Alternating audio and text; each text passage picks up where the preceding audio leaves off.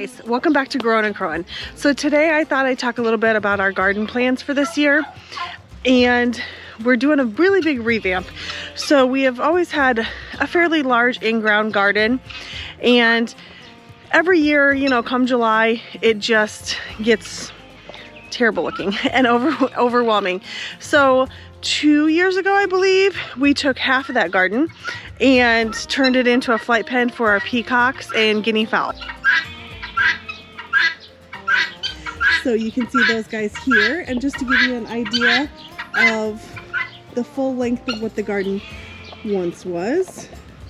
Everything's nice and soggy here because a band of rain and actually about pea-sized hail just came through as I was intending on coming out and doing the first part of this video. So here's the size garden that we have now. And while it's smaller and a bit more manageable, um, we still want to try something new. So we were able to locate a farmer who had some old hog feeders down in one of his ditches, you know, ready just to go to the junkyard or whatever. And so I knew I wanted one. We had actually seen it at Magnolia at the silos down in uh, Texas, in Waco, Texas, when we were down there a few years ago. And so I wanted one to plant maybe flowers or something in. Well, when we went down there and discovered there was seven or eight that were possibly useful, Aaron's like, hey, those might make some pretty good flower beds instead of going and buying all brand new tanks. I love rusty and rustic, so I was all for that. Um, not totally sold on the on the round for the entire thing in the beginning, but it's gonna be unique and we're gonna give it a try. So um, the very first one we saw was this Pride of the Farm and I was super excited. Knew that was definitely gonna be the focal point or the centerpiece of the garden. And we actually had a neighbor who had this large round one at the bottom that he had used for his kids swimming pool when they were younger and they're now grown and so they were willing to part with it and sold us that one. Um, the rest of them are all hog feeders and we actually took apart the different sections uh, so that we had you know a few extra ones to move around. So these are kind of they're just temporarily sat there. Uh, we do have to come in obviously and put dirt in them yet. So my plan is to share that pro process with you. Um, some of them are really pretty cool. And where, where the little feeder parts are, like this, you know, I might pin a few up and plant some um, flowers and that sort of thing. But that's all in the in the in the works. Um, so I'm a little bit skeptical on how I feel about not tilling up the dirt and that's just my favorite. I love, it feels like spring when we till the garden for the first time. So I'm a little sad about that. However, we still do food plots and maybe, just maybe we'll actually get some pumpkins planted this year too. So, so we'll see. Um, there's the flight pen. If you're local and familiar, we lost a flight pen and all that heavy snow this past January. So that among many other things is on our to-do list to clean up. I don't think it's savable, uh, so unfortunately it'll probably just be tore down and that will be a piece of pasture again. So it's, it's sad. Aaron put a lot of work into that many years ago. Um, so I'm thankful though, however, there were no animals in it, no pheasants in it at the time. So that's, so that's good. It's a loss, but it could have been worse. I was able to do a little bit of videoing as we got those hog feeders out of the ditch. So come along with us and see how we brought them home.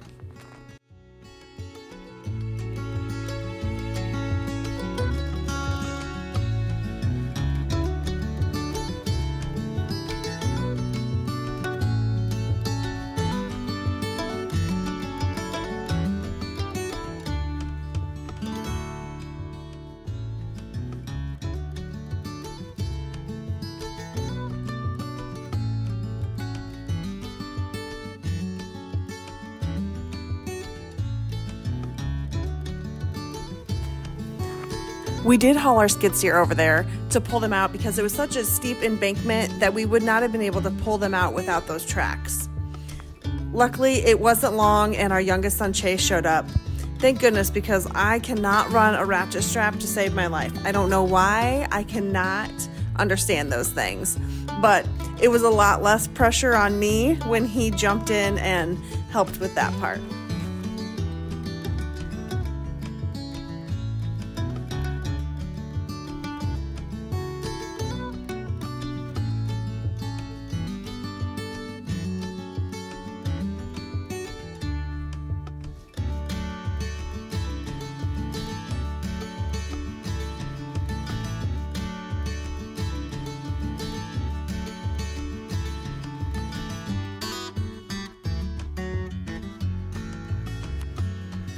Next, we had to get them all strapped down on the trailers so we could start our journey home.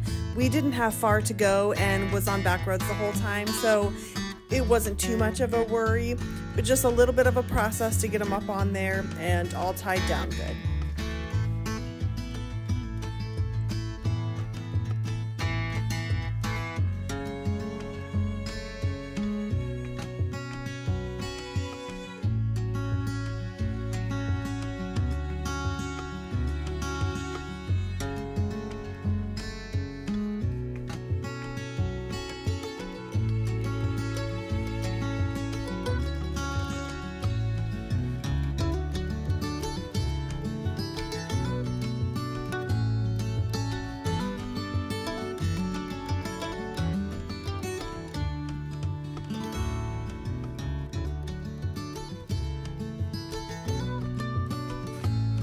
Once we got everything home and unloaded, the guys started taking apart the pieces so that we could use the bottom and then the middle section of the ones that weren't too dented up too bad.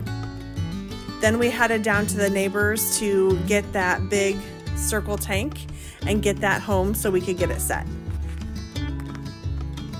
Once we had it in the spot where we wanted, we started bringing in firewood to fill up the bottom half. This helps fill some area so you're not using all dirt and it also gives it some ways to drain. We did use to fill the bottom, we had some compost piles from cleaning out the sheep barn so it was full of hay and that sort of thing. So it didn't matter too much, we just needed to fill the area at the bottom. So once we have everything set, we will come back in and put some good black dirt on top and then compost so we have good rich soil to plant in.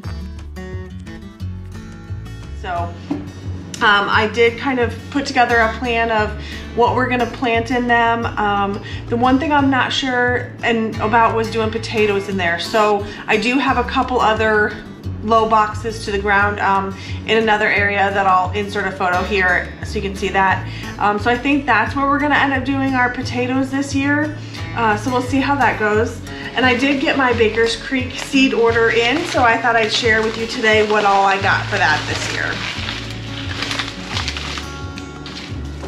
We did get a couple of free stuff with it when you order so many, uh, so much dollar worth, they'll send you some free, so we got some free peppers and basil. In the past, we used to start our peppers and tomato seeds uh, by seed under lights and that sort of thing, but we just don't need that many pepper or tomato plants. So if I had a way to sell those plants or took them to a farmer's market or something, I think that that's a great idea. Or if you wanted a very specific type of tomato or pepper, then of course, you know, starting them by seed is gonna be the best route. But for those, I just honestly go to our local FFA sales and support those kids and that's where we get um, a lot of our tomatoes and pepper plants and a few other things. So um, I couldn't resist doing obviously a few flowers. My biggest goal with the garden is to keep it pretty because if it's pretty then maybe I'll want to go out there a little bit more and pull the weeds. So as I'm looking through these seeds I'm kind of discovering that I ordered a lot more flowers than I really did vegetables but that's because again we'll grab those tomatoes and pepper plants uh, locally. So for our seeds we grabbed some carrots, and I also have behind me here some seeds that we got last year and either never got in the ground or had multiple packets of and just didn't need that many. So they're still good to plant. I can do that this year. Um, I did go ahead and get cilantro. So this is one of those things that I feel like we plant and it bolts and it's never ready at the exact same time as the tomatoes are. So I'm hoping that maybe I can kind of time that out a little bit better this year and do a little research on when to start it so it correlates with those tomatoes. Um, we got some lettuce. I do have a couple packs of this, uh, different types of lettuce from last year as well, and I love to do these in the GreenStalk. Um, it's just, it's up off the ground, it keeps it nice and clean. I love that I can just go out there and cut some off for a salad or make a wrap or something like that real quick for lunch. Uh, kohlrabi is something that we have not planted in quite a few years and Aaron likes it, so we thought we'll grab some of that and try that again this year. I'm not sure, honestly, if the kids have ever had that, so that'll be fun to let them try that. Uh, zucchini squash, of course, this is one of those things that, you know, it's it's not there and then it's there and you're trying to give it away to neighbors, but we always have to plant at least one plant in the garden because what's summer without a little bit of zucchini? Cucumbers, um, so this I'll keep on some sort of a trellis, which will probably be where our garden, where you enter the garden, um, is probably where I'll put these again because we won't have a trellis system connected to any of those garden beds or hog feeders, hog feeders that are already there. So that's probably where I'll put those. Um, I grabbed some dill, uh, not only for, mainly for the butterflies or maybe for pickle making, um, but also just for, you know, pretties if we do some flowers in the house. So the rest of what I have is all flowers. Zinnias are probably hands down my favorite flower simply because it blooms all summer long right into fall. There's a ton of variations of them. So those are always an absolute must in, in my garden.